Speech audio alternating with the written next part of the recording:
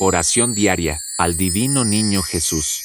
Domingo 12. Divino Niño Jesús, mírame, oh amigo fiel, aquí estoy, aquí me tienes postrado a tus pies, agradecido por tu amor el cual a veces siento no merecer, mas tú, sea yo quien sea, me amas con todo tu ser, quiero mi buen Jesús, a tu infinito amor corresponder, no me dejes caer, aumenta en nosotros, el don de la caridad para aprender a ser más generosos con quienes nos rodean, porque cuando lo hacemos con algunos de nuestros hermanos más pequeños, lo hacemos también contigo Jesús.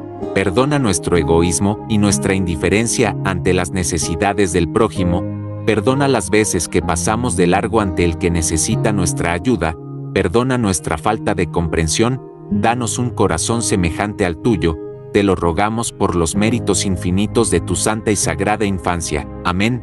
Comunidad Católica Digital, tu fiel amigo.